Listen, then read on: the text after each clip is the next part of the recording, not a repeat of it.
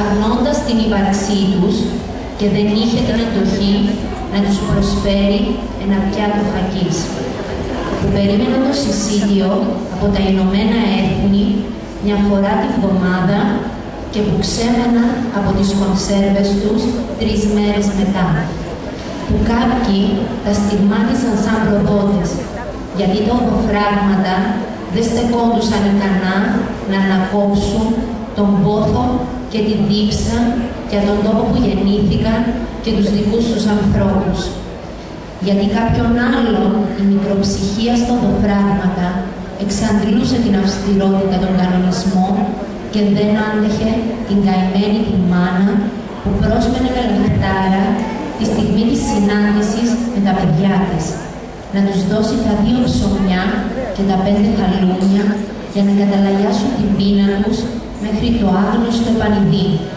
Κάποιες φορές τα καταστρέφανε μπροστά στα μάτια της, δίχως σύκτο και ανθρωπιά, χύνοντας δηλητήριο στη ψυχή της ταλαιπωρημένης μάνας και των ανήλικων παιδιών της, εμφυτεύοντας τα παιδιά το αίσθημα της ντροπής για την ταυτότητά τους και την τάση απόκρυψής της. Που χανόταν η φυσική τους αντοχή και κάποιες φορές σουριάζονταν οι υπόθυμα από τον υποσυλλισμό και την υπερπροσπάθεια για διάκριση στα μαθήματα. Αυτά τα παιδιά που σαν χτυπούσε το κουτούνι του σχολείου και ενώ οι μαθητές τους έτρεπαν στην καντίνα για ένα σάντουιτς, αυτά γυρόφερναν στην αυλή του σχολείου, ξεγελώντας τον εαυτό τους και τους φίλους τους πως δεν πίνουσαν, ενώ η αλήθεια ήταν πως το σάντουιτς.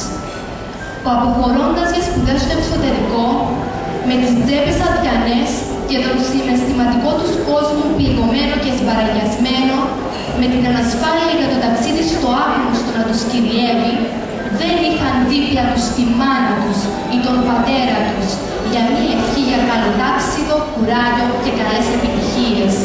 Δεν είχαν που να κουμπίσουν τον πόνο τους και με ποιο να μοιραστούν τη χαρά τους. Για τα παιδιά αυτά δεν μετρούσε η μοιρασμένη χαρά που γίνεται διπλή χαρά και η μοιρασμένη λύπη μισή λύπη. Πάντα διανέ στην καρδιά τους οι δύο θέσεις της μητέρας και του πατέρα. Που άκουγαν συμμαθητές και συγχωριανούς να ψιθυρίζουν με ήχτο και κάποιοι με κακεντρέχεια ότι τα παρνήθηκαν οι γονείς τους. Ίσως και να είχαν δίκιο, ποιος ξέρει. Το άκουσμα όμως αυτό έσφαζε την καρδιά των αθώων αυτών παιδιών, που σε στιγμές αδυναμίας, συχνά πυκνά, αναρωτιόντουσαν με βαθύ παράπονο. Γιατί μάνα απαρνηθήκατε τα παιδιά σας για τον τόπο σας, γιατί αφήσατε τις χαρές και τις ελπίδες μας εγκλωβισμένες στο χωριό, μια στιγμιαία νεκρική σιγή, ταυτόχρονα με μια έκφραση απίθμενης λύπης και ένοχης της μάνας. Ένιωθε στην ψυχή της να σχίζει και την καρδιά της να σπαράζει. Θεός ξέρει τι σκέψεις περνούσαν από το μυαλό της. Τα παιδιά μου ή τον τόπο μου. Γιατί Θεέ μου να μου αφαιρέσεις το δικαίωμα να έχω και τα δύο; Η απάντηση άμεση. Τα παιδιά μου. Μια μονοκοντιλιά τον τόπο που γεννήθηκα, γέννησα και μεγάλωσα τα παιδιά μου.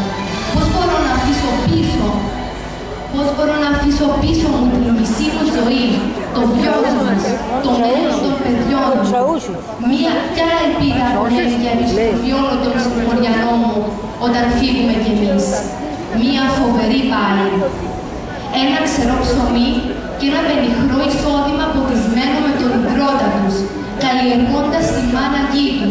ήταν ένα πιο ασφαλές καταφύγιο από την αβεβαιότητα της προσφυγιάς. Θα κάνουμε υπομονή.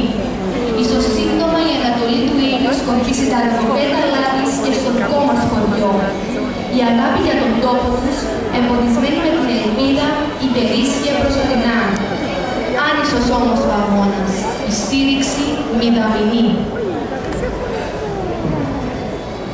Απέραντη η εσωτερική σύγκρουση και στα παιδιά. Κάτι περισσότερο θα ήξεραν οι γονείς τους. Με τις σκέψεις αυτές αντιστέκονταν και ανασηκώνονταν προσμένοντας τις σχολικές αργίες για να πάνε στο χωριό τους, να ανταμώσουν τους και τόσο αγάπησαν, αλλά και που τόσες θυσίες έκαναν για χάρη του. Όλα τα πιο πάνω φαίνονται βγαλμένα από ένα άσχημο, κακόγουστο παραμύθι. Όμως ήταν τόσο αληθινά εκείνα τα πρώτα πέτρινα χρόνια της προσφυγιάς.